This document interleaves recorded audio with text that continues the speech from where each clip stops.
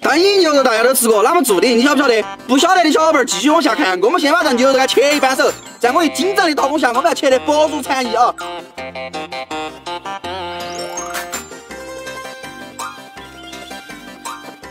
在我的极致刀工下，可以看一下哦，切成这个样儿就差不多，能透过光就行啊。把我们前几天烧的炭加一半熟，在这一分钟，我们把它放上去炕一半熟。火一定要小点啊，别把烧起烧烂了，怕不错。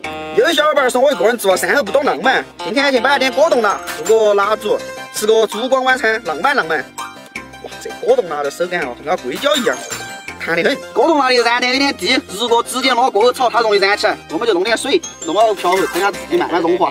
已经差不多融化了，但是白颜色蜡烛感觉不咋好，我们给它变成红颜色蜡烛，要加点料。没找到颜料，我们用辣椒面代替啊。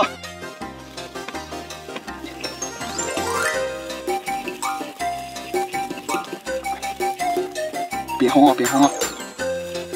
自己做那个弄蜡烛的模具啊。完美，再给它绑一半手。辣椒油一做好，我们给它灌入模具。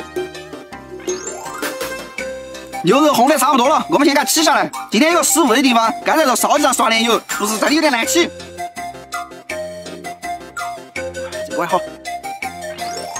起锅烧油，在这一分钟，我们把牛肉弄下去炸一半熟。这个一定要小火慢慢炸，炸得差不多，水分干了，马上捞起来。秘制红油来一半手，白糖来一半手，放过去炒一半手。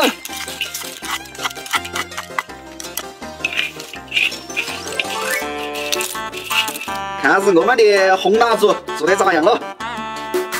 一模和这个硅胶有点好耍。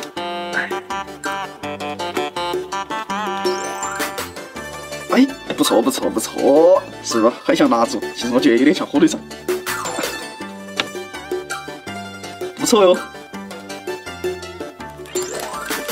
好，小伙伴，我们的灯影牛肉就做成功了。但是有点美中不足的就是牛肉太少了。哎呀，失误失误！来，天来吃一半肉。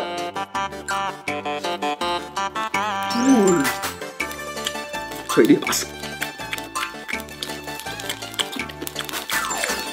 关于这道菜。我做一个技术总结，小伙伴们在屋头弄的时候，一定要把肉弄大片点，这小片啊，到时候油一炸，只有滴点小了，我就是犯了这个错误。